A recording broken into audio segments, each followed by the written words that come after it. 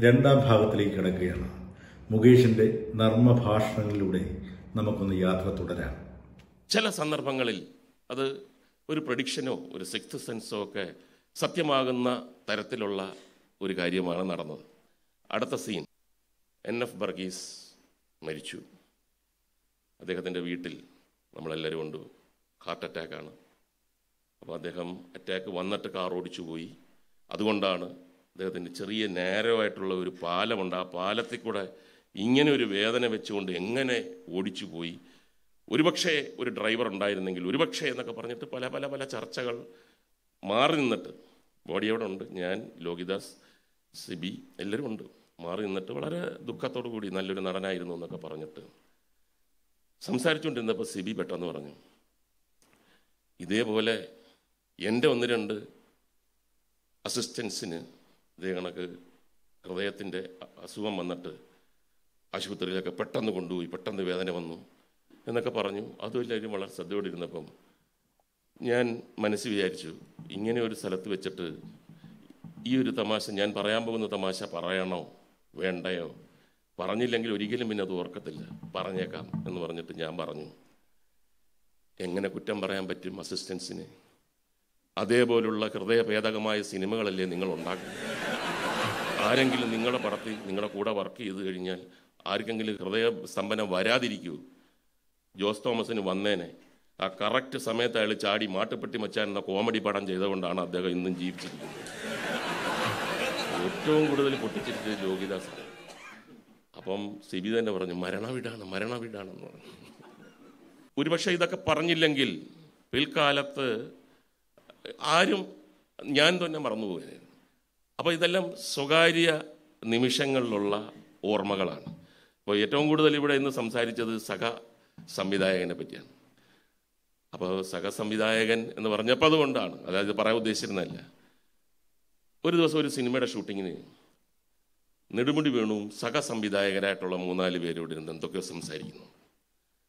ഭയങ്കര വികാരപരമായിട്ടൊക്കെയാണ് സംസാരിക്കുന്നത് സഹ സംവിധായകർ അപ്പോൾ ഞാനിത് ശ്രദ്ധിച്ചു. കുറച്ച് കഴിഞ്ഞപ്പം ഞാൻ വേണിച്ചോട്ടിന്റെ അടുത്ത് ചോദിച്ചു എന്താണ് അവർക്ക് എന്താണ് പ്രശ്നം? ഭയങ്കര ഞാനങ്ങോട്ട് വന്നു കഴിഞ്ഞാൽ പിന്നെ ഞാനും കൂടെ ഇടപെടണോ എന്ന് എന്തായിരുന്നു? അല്ല അവർ ഒരു ഗ്രീവിയൻസ് പറഞ്ഞാണ്. ഞാൻ എന്താണ്? അതല്ല എല്ലാവർക്കും അവാർഡ് കൊടുക്കുന്നു. ഏറ്റവും നല്ല സഹസംവിധായകനുള്ള അവാർഡ് എന്തുകൊണ്ട് കൊടുക്കുന്നില്ല? സഹസംവിധായകൻ വർഷങ്ങളായിട്ട് നിൽക്കുകയാണ്. ഞങ്ങൾക്ക് നാട്ടിൽ അറിയണ്ടേ ഞങ്ങൾക്കൊരു അവാർഡ് എന്തുകൊണ്ട് തരുന്നില്ല? ഒരു പ്രോത്സാഹനവുമില്ല സഹസംവിധായകർക്ക് എന്നൊക്കെ പറഞ്ഞിട്ട്. വികാരാധീനായപ്പോൾ നെടുമുടി വേണു പറഞ്ഞു ഇതെങ്ങനെ അറിയും? നല്ല സഹസംവിധായകനാണെന്ന് ഇപ്പം സംവിധായകന്റെ താഴെയാണല്ലോ. സംവിധായകനാണല്ലോ ഇതിന്റെ ലാസ്റ്റ് ഏറ്റവും നല്ല സഹസംവിധായകനാണെന്ന് എങ്ങനെ അറിയും? അപ്പോഴാണ് ഇവരൊന്ന് ചിന്തിച്ചത് ശരിയാണല്ലോ. അപ്പം ഞാൻ പറഞ്ഞു പെട്ടെന്ന് വളരെ മോശപ്പെട്ട ഒരു സംവിധായകന്റെ പടം നന്നായാൽ സഹസംവിധായകനായിരിക്കും കാരണം എന്ന് പറഞ്ഞിട്ട് അങ്ങനെ അവാർഡ് കൊടുത്തുകൂടെ? ഇതെല്ലാം നമ്മൾ ഇങ്ങനെ കുടുംബാംഗങ്ങളുടെ ഇടയിൽ ഇരുന്നിട്ട് ഇതൊക്കെ തമാശ പറയാനൊക്കെ വേറെ ആർക്കും ഇത് പറഞ്ഞാൽ മനസ്സിലാവത്തുമില്ല. അപ്പോൾ അങ്ങനെ ഒരുപാട് ധന്യ മുഹൂർത്തങ്ങൾ സിബി മലയിൽ എന്ന അതുല്യ സംവിധായകനും ഞാനുമായിട്ട് ഇത് മുഴുക്ക പറഞ്ഞിട്ടില്ല. ഒരു ചെറിയ കാര്യം കൂടെ പറഞ്ഞിട്ട് അവസാനിപ്പിക്കാം. സിബിയുടെ ഇപ്പം മനസ്സ് ചില തിലകേട്ടനൊക്കെ ചില സിനിമയിൽ പറയുമല്ലോ ആ മനസ്സ് എനിക്ക് കാണാം എന്ന് പറയുന്നത് പോലെ തിരുവനന്തപുരത്ത് ഒരു വേദി പ്രിയദർശനുണ്ട്. അപ്പം ഞാനാണ് ആങ്കർ. ഞാൻ വളരെ അപൂർവമായിട്ടാണ് ആങ്കർ കൈകാര്യം ചെയ്തിട്ടുള്ളത്. അപ്പം മോഹൻലാലുണ്ട് പ്രിയദർശനുണ്ട് എം ജി ശ്രീകുമാറുണ്ട് മണിയാമ്പള രാജുണ്ട് സുരേഷ് കുമാറുണ്ട്. അപ്പം കേരളോമതി നടത്തുന്ന ഒരു പരിപാടിയാണ്. Classmates meets classmates. അപ്പോൾ ക്ലാസ്മേറ്റ് എന്ന് പറഞ്ഞ സിനിമയിലുള്ള നടീനടന്മാരും റിയൽ ക്ലാസ്മേറ്റ്സ്. അപ്പോൾ അതിന്റെ നടുക്ക് നിന്നിട്ട് രണ്ടുപേരുമായിട്ടും സമ്പർക്കം പുലർത്താം. അല്ലെങ്കിൽ രണ്ടുപേരെ കുറിച്ചും പറയാൻ പറ്റുന്ന ഒരാളെന്ന നിലയിൽ ഇവരെന്നെ സെലക്ട് ചെയ്ത് കൊണ്ടുവന്ന് നിർബന്ധിച്ച് ചെയ്യുകയാണ് അപ്പം ഞാൻ ഒരൊറ്റ കണ്ടീഷൻ മാത്രം പറഞ്ഞു. ആ ക്ലാസ്മേറ്റ്സിനെ പറ്റി ഞാൻ ഒന്നും പറയുന്നില്ല. അവർ ജൂനിയേഴ്സാണ് ഈ ക്ലാസ്മേറ്റ്സിനെ പറ്റി എനിക്ക് പറയാൻ പറ്റുന്ന ഇഷ്ടമുള്ളതൊക്കെ പറയും. സമ്മതമാണെങ്കിൽ ഓക്കെ അപ്പം ഒറിജിനൽ ക്ലാസ്മേറ്റ്സ് ഒന്ന് ഞെട്ടി. അപ്പോൾ വേറെ പെട്ടെന്ന് ഒരാളിനെ ഇനി കൊണ്ടുവരാൻ പറ്റത്തില്ല. ഓക്കെ എന്ന് പറഞ്ഞു. അങ്ങനെ ഓരോരുത്തരെയും നല്ല രീതിയിൽ ഞാൻ കൈകാര്യം ചെയ്തുകൊണ്ട് പക്ഷേ വലിയ സദസ്സാണ്. എവിടം വരെ എന്ത് ബ്രിമ്മ് അതൊക്കെ എനിക്കറിയാം. അറിഞ്ഞുകൂടാത്ത ചില കാര്യങ്ങളൊക്കെ പറഞ്ഞിട്ട് പ്രിയൻ പ്രിയനെ പറ്റി പറഞ്ഞു. പ്രിയനെ പറ്റി സിനിമയിൽ വരുന്ന സമയത്ത് ഞങ്ങൾ ചെയ്ത ചില തമാശകളും കുസൃതികളൊക്കെ പറഞ്ഞു. പ്രോഗ്രാം കഴിഞ്ഞിട്ട് പ്രിയൻ എന്നെ മാറ്റി നിർത്തി കെട്ടിപ്പിടിച്ചു ഷേക്കാൻ ചെന്നിട്ട് പറഞ്ഞു. ആണിപ്പുറത്തിരിക്കുകയായിരുന്നു. നിന്റെ നാക്ക് വെച്ച് എന്തൊക്കെയാണോ വിളിച്ചു പറയാൻ പോകുന്നത് അതും തിരുവനന്തപുരത്ത്. ജീവിക്കാൻ പറ്റാതെ വന്നേനായിരുന്നു. ഈ ഉപകാരം ഞാൻ ഒരിക്കലും മറക്കത്തില്ല. അതുപോലെ ഒരവസ്ഥയിലാണ്. എന്തൊക്കെയാണ് ഞാൻ വിളിച്ച് പറയാൻ പോകുന്നത്? അവന്റെ ഒരു കോമഡി. ആയുരാരോഗ്യ സൗഖ്യം. ബാലയ്ക്കും കമൽ പറഞ്ഞതുപോലെ ഞാൻ ഇവിടെ നിന്ന് മദ്രാസിലേക്ക് സ്ഥിരതാമസമാക്കിയപ്പോൾ അവിടെ അവിടെയും എന്റെ ഞാൻ താമസിച്ച ഫ്ലാറ്റിന്റെ അപ്പുറത്ത് തന്നെ അവർ താമസിച്ചിരുന്നു. അങ്ങനെ ഒരുപാട് കൊല്ലത്തെ ബന്ധമാണ്. ഇനിയും ഒരുപാട് സിനിമകൾ ചെയ്യട്ടെ നമ്മളെല്ലാം സന്തോഷിപ്പിക്കട്ടെ എന്ന് പറഞ്ഞുകൊണ്ട് എല്ലാ ആശംസകളും നേർന്നുകൊണ്ട് നന്ദി. കമലും മുകേഷും സിബിയെക്കുറിച്ച് എല്ലാം പറഞ്ഞു കഴിഞ്ഞു. എനിക്ക് ശരിക്കും ഞാനൊരു പത്ത് നാൽപ്പത്തിരണ്ട് വർഷം പുറകോട്ട് പോയി. എൺപത് കാലഘട്ടത്തിൽ മഞ്ഞിൽ വിരിഞ്ഞ പൂക്കൾ എന്ന മൂവിയുടെ ഷൂട്ടിംഗ് സമയത്താണ് സിബി ആദ്യം കാണുന്നത്. അതിനുശേഷം പടയോട്ടം പിന്നെ സിബി പ്രിയന്റെ അസോസിയേറ്റ് ആയിട്ട് വന്നു. അങ്ങനെ ഒരുപാട് സിനിമകൾ ആ കാലഘട്ടത്തിൽ ഞങ്ങൾ ഒരുമിച്ച് ചെയ്തു. മുകേഷും ഞങ്ങളും എല്ലാവരും കൂടി ഒരുപാട് സിനിമകൾ സിബി സി ബി ഐയിൽ അസോസിയേറ്റ് ഡയറക്ടറായിരുന്നു അതിനുശേഷം ഞാനൊരു സിനിമ നിർമ്മിച്ചപ്പോൾ സിബിയെ ഞാൻ ഷൂട്ടിംഗ് സമയത്തൊക്കെ കണ്ടിട്ടുണ്ട് സിബിയുടെ വർക്ക് കണ്ടിട്ടുണ്ട്. അപ്പോൾ ഞങ്ങളൊരു സിനിമ നിർമ്മിച്ചപ്പോൾ ശരി സിബിയെക്കുറിച്ച് സിബിയെ വെച്ച് ഈ സിനിമ ചെയ്യാമെന്ന് ഞങ്ങൾ തീരുമാനിച്ചു. ഞങ്ങൾ ഒരുപാട് ഇന്നിപ്പം ഞാൻ അവിടെ നിൽക്കുന്ന നിൽക്കുമ്പോൾ ഞാൻ ഓർക്കുന്നത് നെടുമുടി വിണിച്ചേട്ടനെയാണ് അദ്ദേഹവും സപ്പോർട്ട് ചെയ്തു. നല്ലതാണ്. അദ്ദേഹം നന്നായിട്ട് ചെയ്യും എന്നൊക്കെ പറഞ്ഞു. അങ്ങനെ ആ സിനിമ ചെയ്തു. അത് തുടക്കത്തിൽ ആ സിനിമ റിലീസായി. അതിന്റെ ആ റിലീസായ സമയത്ത് അത് അത്ര വലിയൊരു സക്സസ്സായി മാറിയില്ല. പക്ഷെ അത് അടുത്ത സ്റ്റേഷനുകളിൽ ബി എൻ സി സ്റ്റേഷൻ എല്ലായിടത്തും സൂപ്പർ ഡൂപ്പർ ഇട്ടായിട്ട് ഓടി. അതിനുശേഷം സിബി ബിസിയായി ഒരുപാട് നല്ല സിനിമകൾ നമുക്ക് സമ്മാനിച്ചു. നമുക്കെല്ലാം കാണാൻ സാധിച്ചു. വളരെ കഴിവുള്ള ഒരാളാണെന്ന് ഞാൻ പറയേണ്ട കാര്യമില്ല. നിങ്ങൾക്ക് എല്ലാവർക്കും അറിയാം. ഒരു തരത്തിലുള്ള സിനിമയല്ല. കോമഡി ആണെങ്കിൽ കോമഡി സീരിയസ് സിനിമ ഏത് സിനിമയും ചെയ്ത് ഫലിപ്പിച്ചിട്ടുള്ള ഒരു വലിയൊരു ഡയറക്ടർ തന്നെയാണ് സിബി. സിബി ഇനിയും ഒരുപാട് സിനിമകൾ ചെയ്യണം. എല്ലാവിധ ഐശ്വര്യങ്ങളും ഉണ്ടാവട്ടെ ദൈവം സിബിയുടെ കൂടെ ഉണ്ടാവട്ടെ. പിന്നെ അതുപോലെ തന്നെ ഈ ഫംഗ്ഷനിലേക്ക് എന്നെ ക്ഷണിച്ച ജോസ് തോമസ് ജിയാണ് എന്നെ ഒരുപാട് പ്രാവശ്യം വിളിച്ചു ശങ്കർ വരണം സിബി ഇങ്ങനെ വരണം വരാൻ പറഞ്ഞിട്ടുണ്ട് എന്നൊക്കെ പറഞ്ഞ് എന്നെ ഒരുപാട് പ്രാവശ്യം വിളിച്ചു. വളരെയധികം സന്തോഷം നന്ദി. പിന്നെ ഒരുപാട് പേരെ പഴയ ആൾക്കാരെയൊക്കെ ഇപ്പോൾ കാണാൻ സാധിച്ചു. പലരും പല സ്ഥലത്താണ്. ഏതായാലും എൻ- ചേക്കാരൻ ചിലയിൽ വർക്ക് ചെയ്തവരുമുണ്ട്. അല്ലാത്തവരും ഒക്കെ നമുക്ക് പരിചയമുള്ളവർ ഇവിടെയുണ്ട്. എനിയോ താങ്ക് യു നമസ്തേ എല്ലാവരെയും സാറിന്റെ കൂടെ ഒന്ന് ചുറ്റി നിൽക്കാനുള്ള ഒരു അവസരം ഒരിക്കൽ കൂടെ കിട്ടി. രണ്ട് പടത്തിലെ എനിക്ക് അഭിനയിക്കാൻ പറ്റിയുള്ളൂ. അത് കിരീട ഉണ്ണി സാറ് മാലയോഗത്തിൽ സാറിന്റെ അടുത്ത് കൊണ്ടുവന്നപ്പോൾ ആദ്യമായിട്ട് വെള്ളി നക്ഷത്രത്തിലേക്ക് എന്റെ ഒരു പടം അടിച്ചു വരുന്നത് മാലയോഗത്തിനാണ് പിന്നെ ധനം. പക്ഷെ അതിനേക്കാളും സാറിന്റെ അസിസ്റ്റന്റ് ഡയറക്ടർമാരെ പോലെ തന്നെ സാറിന്റെ അടുത്ത് കുറേ ചുറ്റിപ്പറ്റി നിൽക്കാൻ പറ്റി. ആകാശദൂതും ചെങ്കോലും മാലയോഗവും ധനവും സാന്ത്വനവും ഒക്കെ ആയിട്ട് ഇത്രയും പടത്തിൽ കോസ്റ്റ്യൂം ചെയ്യാൻ പറ്റി. അങ്ങനെ ഒരുപാട് ഒരുപാട് ദിവസം സാറിന്റെ ആ ഒരു ആ ഒരു ചൂട് പറ്റി നിൽക്കാൻ പറ്റി. അതുകൊണ്ടുള്ളൊരു ധൈര്യം എന്തെന്ന് വെച്ചാൽ ഏത് സൂപ്പർ സ്റ്റാർ വന്നാലും ഉടുപ്പൂരി വെപ്പിക്കാനുള്ളൊരു ധൈര്യം വലിയ സന്തോഷമായി എനിക്ക് ഈ കൂട്ടത്തിൽ. എനിക്ക് പ്രത്യേകിച്ചും ഇങ്ങനെ ഒരു മുഹൂർത്തം സാറിന് എല്ലാവരും ചേർന്ന് ആദരിക്കുന്ന ഒരു സമയത്ത് അന്ന് കൂടെ ഉണ്ടായിരുന്നവരെല്ലാം പിന്നെ ജോസാറും സുന്ദർജിയൊക്കെ എന്നെ ഓർത്ത് ഈ കൂട്ടത്തിൽ ചേർത്തതിന് ഞാൻ പ്രത്യേകം നന്ദി പറയുന്നു. സാറിന് ആയിരം ആരോഗ്യം ഉണ്ടാവട്ടെ. സാർ ഇനി ഒരുപാട് പടം ചെയ്യട്ടെ. നടനായിട്ട് എന്നെ സാറിന്റെ കയ്യിൽ കിട്ടിയില്ല. കിട്ടിയെങ്കിൽ ഞാൻ ഒറ്റുകൂടെ വൃത്തിയായേനെ. എന്തെങ്കിലും അത് പ്രതീക്ഷിക്കുന്നു നടക്കും. ആഗ്രഹം എല്ലാ ആശംസകളും നേർന്നുകൊണ്ട് നിർത്തുന്നു. പ്രിയപ്പെട്ടവരെ എന്നെ ആദ്യം തന്നെ ഞാൻ നന്ദി പറയുകയാണ് ജോസ് തോമസിന്റെ അടുത്ത്. ഈ ഒരു കൂട്ടായ്മയിൽ എന്നെ ഉൾപ്പെടുത്തിയതിൽ ഒരുപാട് ഒരുപാട് നന്ദി. ഞാൻ സിബിസാറിന് ആദ്യം കാണുന്നത് ധനം എന്ന് പറഞ്ഞ സിനിമയ്ക്ക് വേണ്ടിയിട്ട് എന്നെ വിളിച്ചു. ഒരു ചെറിയ റോളിന് വേണ്ടിയിട്ടായിരുന്നു എന്നെ വിളിച്ചത്.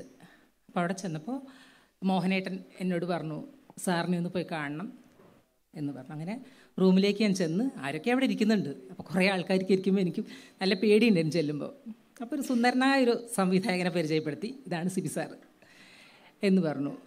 അപ്പോൾ എന്നെ കുറേ സമയം നോക്കിയപ്പോൾ എനിക്ക് തോന്നി എന്താ എന്നെ ഇഷ്ടപ്പെട്ടില്ലേ? ഞാൻ തിരിച്ചു പോണ്ടി വരുമോ ആ ശരി. കുറച്ച് എന്തൊക്കെ ഒന്ന് രണ്ട് വർത്തമാനങ്ങളൊക്കെ പറഞ്ഞു ശരി എന്ന് പറഞ്ഞു. അങ്ങനെ ഞാൻ റൂം പോയി. കുറച്ച് കഴിഞ്ഞപ്പോൾ മോഹനേട്ടൻ എന്റെ അടുത്ത് വന്നു. രണ്ട് ദിവസത്തെ വർക്കിന് വേണ്ടിയിട്ടാണ് വിളിച്ചിരുന്നത്. അപ്പോൾ കുറച്ച് കൂടുതൽ ദിവസം നിൽക്കാൻ പറ്റുമോ എന്ന് ചോദിച്ചു. ഞാൻ പറഞ്ഞാൽ നിൽക്കാൻ പറ്റും. എന്നാൽ റോളൊന്ന് മാറ്റിയിട്ടുണ്ട്. സിബി സാർ വിചാരിച്ചു അന്ന് ഞാൻ കേട്ടിന്റെ ഭാര്യയായിരുന്നു. അപ്പോൾ ഒരുപാട് പ്രായമുള്ള ആളായിരിക്കും വരിക എന്നാണ് വിചാരിച്ചത്. അപ്പോൾ അതുകൊണ്ട് രണ്ട് പിന്നെ ഒരു ചേച്ചിയുടെ അനിയത്തിന്റെയും കഥയാണ്. അപ്പോൾ അതിൽ ചേച്ചിയുടെ റോൾ ചെയ്യാൻ വേണ്ടിയിട്ട് പറ്റുമെങ്കിൽ കുറേ ദിവസം നിൽക്കാൻ പറ്റുമെങ്കിൽ ആ റോൾ ചെയ്യാമെന്ന് പറയും എനിക്ക് ഭയങ്കര സന്തോഷം തോന്നി. അത് കഴിഞ്ഞ് കുറച്ച് കഴിഞ്ഞിട്ടാണ് ഞാൻ പിന്നെ കമൽ സാറിന്റെ പടം ചെയ്യുന്നത്. പിന്നെ അതിനു മുമ്പ് സിബി അടുത്ത പടം വന്നു. അപ്പോഴും എന്നെ വിളിച്ചു. ഞാൻ ലൊക്കേഷനിൽ ചെന്നപ്പോൾ എന്റെ ഭാഗ്യദോഷം കൊണ്ട് ആ സബ്ജക്റ്റ് മാറുകയാണ്. ഭരതം എന്ന് പറഞ്ഞ സിനിമയായിരുന്നു അത്. അതിലെനിക്ക് പങ്കെടുക്കാൻ പറ്റിയില്ല. കാരണം സബ്ജക്റ്റ് മാറിപ്പോയി എന്ന് പറഞ്ഞപ്പോൾ എനിക്ക് ഭയങ്കര സങ്കടം തോന്നി. അതിലെനിക്ക് ആ ഒരു ശക്തമായ കഥാപാത്രം കിട്ടിയിരുന്നെങ്കിൽ സത്യത്തിൽ എന്റെയും കഥ മാറിപ്പോയേനെ വേറെ രീതിയിൽ എനിക്ക് മലയാള സിനിമയിൽ നിൽക്കാൻ പറ്റുമായിരുന്നു. എന്തായാലും എനിക്ക് ഒരുപാട് ഒരുപാട് നന്ദി. എല്ലാവരോടും നന്ദി. മാത്രം മറുപടി പ്രസംഗത്തിനായി സിബി സാറിനെ ക്ഷണിക്കുന്നു. സാധാരണ ഒരാൾ മരിച്ചു കഴിയുമ്പോഴാണ് ഇങ്ങനെയുള്ള അയാളെക്കുറിച്ച് ഇങ്ങനെയുള്ള അപദാനങ്ങളൊക്കെ കേൾക്കുക. അപ്പം മരിച്ച ആൾക്ക് അതൊരിക്കലും കേൾക്കാനും പറ്റുകയില്ല പക്ഷേ എനിക്ക് ഇന്ന് മരിക്കാതെ അതൊക്കെ കേൾക്കാൻ കഴിഞ്ഞു. അതിന് അവസരമുണ്ടാക്കിയ ജോസ് ഉൾപ്പെടെയുള്ള എന്റെ എല്ലാ പ്രിയ ശിഷ്യന്മാർക്കും ആദ്യമേ നന്ദി പറയട്ടെ. തുടക്കം എന്റെ നായികനിൽ തന്നെയാവും. മുകേഷ് മുകേഷിനെ കാണുന്നത് ഓടരുതമാവ ആളറിയാമെന്ന് പറയുന്ന പടത്തിൽ ഞാൻ അസോസിയേറ്റ് ആയിട്ട് വർക്ക് ചെയ്യുമ്പോഴാണ്. അപ്പം അന്ന് തുടങ്ങിയ സൗഹൃദത്തിൽ നിന്നാണ് പിന്നീട് മുകേഷിനെ മുത്താരംകുന്ന് പിയിലേക്കും നായകനായിട്ട് നമ്മൾ തീരുമാനിക്കുന്നത്. അതിന്റെ കഥകളൊക്കെ മുകേഷ് പറഞ്ഞു കഴിഞ്ഞു. മുകേഷിന് അസാമാന്യമായ ഓർമ്മശക്തിയാണ്. ഞാൻ മറന്നുപോയ പല കാര്യങ്ങളും. ഈ കോരസാറിന്റെ ഒക്കെ ഒന്നും കാര്യം എനിക്ക് ഓർമ്മയില്ല. അതല്ലാതെ ആ കാലത്തുണ്ടായിട്ടുള്ള ഒരുപാട് കാര്യങ്ങൾ ഏറ്റവും മൈന്യൂട്ടസ്റ്റ് ആയിട്ടുള്ള കാര്യങ്ങൾ പോലും മുകേഷിന്റെ ഓർമ്മയിലുണ്ട്. സാമാന്യ മെമ്മറിയുള്ള ഒരാളെ ഞാൻ വേറെ കണ്ടിട്ടേ ഇല്ല. അന്ന് ഉള്ള ചില ആൾക്കാരുടെയൊക്കെ പേരൊക്കെ മറന്നുപോയിട്ട് ഞാൻ മുകേഷിനെ പലപ്പോഴും എവിടെയെങ്കിലും വെച്ച് കാണുമ്പോൾ അന്ന് നമ്മൾ അവിടെ വെച്ചുണ്ടായിരുന്ന ഇന്ന ആളുടെ പേര്? കൃത്യമായിട്ട് ആ പേര് ഇപ്പോൾ പറയാം ആ സംഭവം പറയും. അങ്ങനെ ഒരു ഒരു പ്രത്യേകത മുകേഷിനുണ്ട്. പിന്നെ ഈ ഇവരുടെ കൂടെയൊക്കെ ഇരിക്കുമ്പോഴാണ് നമ്മൾ ഏറ്റവും കൂടുതൽ റിലാക്സ്ഡ് ആകുന്നത്. കാരണം പറയുന്ന ഓരോ വാക്കുകളും തമാശ മാത്രമാണ്. തമാശകളിലൂടെ നമ്മളിങ്ങനെ ചിരിപ്പിച്ചുകൊണ്ടേ ഇരിക്കുന്ന ആളാണ്. പക്ഷേ അത്തരം തമാശകൾ ചെയ്തു വന്ന ഒരാളാണ് ധന്യാവർത്തനത്തിലെ ഗോപി എന്ന കഥാപാത്രത്തെ അവതരിപ്പിച്ചത് നമുക്ക് വിശ്വസിക്കാനേ കഴിയില്ല. കാരണം മുകേഷ് ചെയ്ത മുകേഷിന്റെ കരിയറിലെ ഏറ്റവും വ്യത്യസ്തമായ ഏറ്റവും പവർഫുള്ളായിട്ടുള്ള ഒരു ക്യാരക്ടർ അതുതന്നെയാണ് അത് ഏറ്റവും മനോഹരമായിട്ട് മുകേഷ് മുകേഷ് സൂചിപ്പിച്ചതുപോലെ എന്റെയും ലോഹിയുടെയും വിശ്വാസത്തെ കാത്തുകൊണ്ടത് ഭംഗിയായിട്ട് ചെയ്യുകയും ചെയ്തു. മുകേഷിനെക്കുറിച്ച് അങ്ങനെ നിരവധിയായ ഓർമ്മകൾ ഉണ്ട്. എല്ലാം കൂടെ പറഞ്ഞാൽ ഒരുപാട് പേരെക്കുറിച്ചും കൂടെ പറയാനുള്ളത് കൊണ്ട് അങ്ങനെ ഞാനൊന്ന് ചുരുക്കുകയാണ്. പിന്നെയുള്ളത് ശങ്കറാണ്. ശങ്കറിനെ കാണുന്നത് ഞാൻ ഇന്ന് പറഞ്ഞതുപോലെ നാൽപ്പത് വർഷങ്ങൾക്ക് നാൽപ്പത്തിരണ്ട് വർഷങ്ങൾക്ക് മുമ്പ്. മഞ്ഞൾ പിരിഞ്ഞ പൂക്കളുടെ അതിന്റെ ഒരു പ്രീ പ്രൊഡക്ഷൻ വർക്ക് നടക്കുമ്പോൾ മദ്രാസിൽ വെച്ചിട്ട് മദ്രാസിലെ നവോദയയുടെ ഓഫീസിൽ വെച്ചിട്ടാണ് ശങ്കറിനെ അന്ന് കാണുന്നത്. അന്ന് ശങ്കർ എന്ന് പറയുന്ന ഒരു വ്യക്തി നമ്മൾക്ക് മലയാളികൾക്ക് അറിയാവുന്നതിനേക്കാൾ കൂടുതൽ അപ്പുറത്തുള്ള ഒരു സൂപ്പർ സ്റ്റാർ ആയിരുന്നു. കാരണം തമിഴ് ഒറ്റ സിനിമ കൊണ്ട് സൂപ്പർ താരമായി മാറിയ ആളാണ്. ഒരു തലൈ രാഗം എന്ന സിനിമ ഈ ഞങ്ങൾ സംഘടന ഈ സിനിമയിലേക്ക് മഞ്ഞൾ പൊഴിഞ്ഞ പൂക്കളിലേക്ക് കാസ്റ്റ് ചെയ്യാൻ തീരുമാനിക്കുന്ന സമയത്ത് ആ സിനിമ ഏതാണ്ട് ഒരു വർഷത്തോളം അവിടെ തുടർച്ചയായിട്ട് ഓടിക്കൊണ്ടിരിക്കുകയാണ്. ഞാൻ മദ്രാസിലെ കോടമ്പക്കത്തുള്ള ലിബർട്ടി തിയേറ്ററിൽ പോയിട്ട് അന്ന് ആ സിനിമ കാണുന്ന അന്നും ഞാൻ കാണുമ്പോൾ തന്നെ ഏതാണ്ട് നൂറ് ദിവസത്തോളം അടുത്ത സമയമായിട്ടുണ്ട്. അന്നും നിറഞ്ഞു കവിഞ്ഞ ആൾക്കാരാണ് ആ തിയേറ്ററിൽ ശങ്കറും രവീന്ദ്രനും രൂപയൊക്കെയാണ് ആ സിനിമയിലുള്ളത്. അവൾ ആ ഒരു ഒരു- എന്താണ് ഒരു സുപ്രധാന തലത്തിൽ നിന്നുകൊണ്ടാണ് മലയാളത്തിലേക്ക് ശങ്കർ വരുന്നത്. അന്ന് കൊടൈക്കനാലിലൊക്കെ ഷൂട്ട് ചെയ്യുമ്പോൾ അവിടെ വരുന്ന ടൂറിസ്റ്റുകൾക്കൊക്കെ ശങ്കറിനെ മാത്രം കാണാൻ വേണ്ടിയിട്ട് നാട്ടിൽ നിന്നും വണ്ടി പിടിച്ച് വരുന്ന തമിഴ്നാടുകാരായിട്ടുള്ള ടൂറിസ്റ്റുകളുണ്ട്. അവിടെ ഏറ്റവും കൂടുതൽ നമുക്ക് ബുദ്ധിമുട്ടുണ്ടാക്കുന്നത് ശങ്കറിന്റെ ആരാധകരായിരുന്നു. അത്രമാത്രം ആൾക്കാരാണ്. പ്രത്യേകിച്ച് ചെറുപ്പക്കാരുടെ ഇടയിൽ ഇത്രമാത്രം ഒരു ഒരു തരംഗം സൃഷ്ടിച്ച ഒരു സിനിമയായിരുന്നു അത് അതിലെ നായകനായിരുന്നു. ശങ്കർ ആ സമയത്തേക്ക് മലയാളത്തിലെ ഏറ്റവും തിരക്കുള്ള നായകനായി മാറിക്കഴിഞ്ഞു. ശങ്കറില്ലാത്ത സിനിമകളില്ലാത്തൊരവസ്ഥയായി. അത് കഴിഞ്ഞ് ഞാൻ എന്റെ ആദ്യത്തെ സിനിമ മുത്താരംകുന്ന് പി ഒ കഴിഞ്ഞിട്ട് നേരത്തെ മുകേഷ് സൂചിപ്പിച്ച പോലെ സൂപ്പർ ഹിറ്റാണെന്ന് പലരും തെറ്റിദ്ധരിച്ചിരിക്കുന്ന ആ സിനിമ കഴിഞ്ഞ സമയത്ത്. ശങ്കർ എന്റെ അടുത്ത്. എനിക്ക് തോന്നുന്നത് എ ബി എമ്മിലോ ഏതൊരു തിയേറ്റർ സ്റ്റുഡിയോയിലൊക്കെ നമ്മൾ ഷൂട്ട് ചെയ്യുമ്പോഴാണ് ശങ്കർ എന്റെ അടുത്ത് വന്ന് പറയുന്നത് നമുക്കൊരു സിനിമ പ്രൊഡ്യൂസ് ചെയ്യാം. ഞങ്ങളൊരു സിനിമ പ്രൊഡ്യൂസ് ചെയ്യുന്നത് സംവിധാനം ചെയ്യാൻ പറ്റുമോ എന്നൊക്കെ ചോദിച്ചിട്ട് ഞാനിങ്ങനെ പണിയില്ലാതിരിക്കില്ല അപ്പോഴത്തേക്ക് ഞാൻ പറഞ്ഞു എന്താണ് നമുക്ക് ചെയ്യാം? അങ്ങനെയാണ് ശങ്കർ തന്നെ ശങ്കരൻ കണ്ടുപിടിച്ചൊരു ഒരു ഹിന്ദി സിനിമയാണ് അനിൽ കപൂർ അഭിനയിച്ച ആ സിനിമയുടെ അതിന്റെ മലയാള വേർഷനാണ് അത് ആ ആ മലയാളത്തിലേക്ക് അതിനെ വിവർത്തനം ചെയ്തു തന്ന പ്രിയനാണ്. അങ്ങനെയാണ് ചേക്കേറാനൊരു ചില എന്ന സിനിമ ഉണ്ടാകുന്നത്. ശങ്കറും ശങ്കറിന്റെ സഹോദരൻ കൃഷ്ണകുമാറും ചേർന്നാണ് അത് സിനിമ പ്രൊഡ്യൂസ് ചെയ്തത്. ഒരുപക്ഷെ ശങ്കർ രണ്ടാമത്തെ ആ സിനിമയ്ക്ക് എന്റെ മുമ്പിലേക്ക് അങ്ങനെ ഒരു ഓഫർ വന്നിരുന്നില്ലെങ്കിൽ ഞാൻ ചിലപ്പോൾ പിന്നീട് എനിക്ക് സിനിമകൾ കിട്ടുമായിരുന്നോ? എന്റെ ഭാവി എങ്ങനെയായിരിക്കും എന്നുള്ള ഒന്നും ഒരു ഒരു ഇപ്പം ചിന്തിച്ച് മാറി ചിന്തിക്കുമ്പോൾ ആദ്യത്തെ സിനിമ എല്ലാവർക്കും എളുപ്പമാണ്. എങ്ങനെയെങ്കിലും നമ്മുടെ കയ്യിലുള്ള മരുന്നെല്ലാം കൂടി ഇട്ട് പൊട്ടിക്കാം.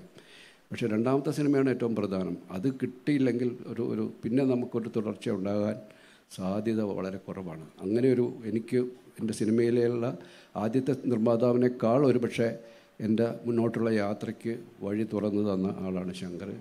സിനിമയിലെ എന്റെ ഏറ്റവും അടുത്ത സുഹൃത്ത് ആരെന്ന് ചോദിച്ചാൽ എനിക്ക് പറയാൻ ഒരു പേരേ ഉള്ളൂ അത് കമലാണ്.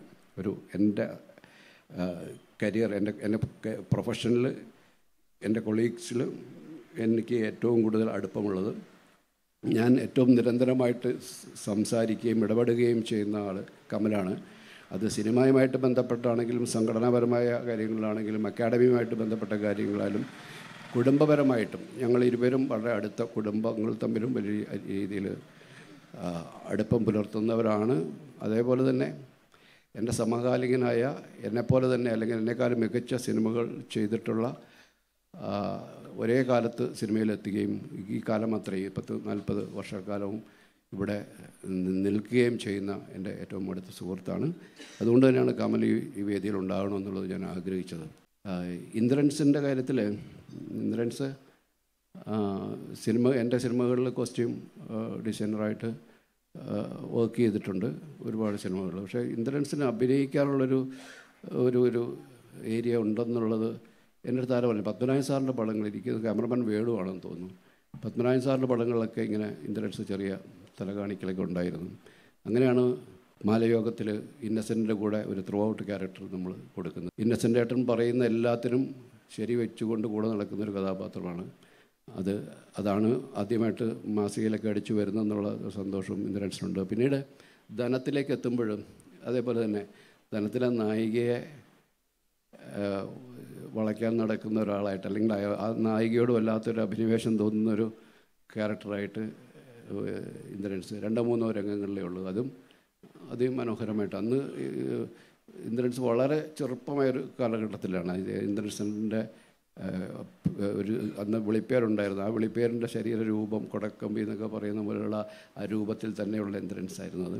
പക്ഷേ അവിടെ നിന്നും ഇന്ദ്രൻ വളർന്ന് ഇന്ന് ഇന്ത്യയിലെ ഏറ്റവും മികച്ച നടന്മാരിൽ ഒരാളായി വളർന്ന അത്ഭുതകരമായ കാഴ്ച നമ്മുടെ കൺമുമ്പിൽ തന്നെ കാണുകയും അത് ഏറ്റവും സന്തോഷവും അഭിമാനവും തരുന്നൊരു കരിയറുടെ ഏറ്റവും ഔന്നത്യത്തിലേക്ക് ഇന്ദ്രൻസ് എത്തി നിൽക്കുന്നു. ഇന്ന് പലപ്പോഴും കഥ പറയാൻ വരുമ്പോൾ ഇന്നലെയും എന്റെ അടുത്ത് കഥ പറയാൻ ഒരാൾ വന്നപ്പോൾ ആ കഥയിൽ ഇങ്ങനെ ഒരു കഥാപാത്രത്തെ പറയുമ്പോൾ ഞാൻ ഈ കഥ ആരാ? അത് ഇന്ദ്രൻസ് ഏട്ടൻ അയാൾ തീരുമാനിച്ചിട്ട് വരുന്നത്. പണ്ട് മമ്മൂട്ടിയുടെ മോഹൻലാലിലെയൊക്കെ സങ്കല്പിച്ചുകൊണ്ട് കഥ എഴുതുന്നവരും ഇപ്പോൾ ഇന്ദ്രൻസിനെ സങ്ക സങ്കല്പിച്ചുകൊണ്ട് കഥ എഴുതി തുടങ്ങുന്ന കാലഘട്ടത്തിലേക്കുള്ള വളർച്ച നമുക്ക് അത്ഭുതപ്പെടുത്തുന്നത് തന്നെയാണ്.